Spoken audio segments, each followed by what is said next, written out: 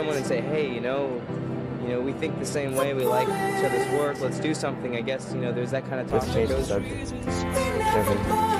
Taxi. Hello, I'm Little Phoenix, and if you care about animals, here's some good news. Give me a call. Something like that, yeah. yeah, I did that, and it's it feels good because it, it just adds you know realism to the you know to the film. I don't need a bag either. It's a fucking movie.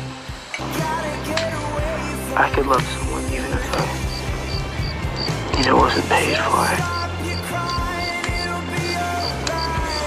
I love you and no baby.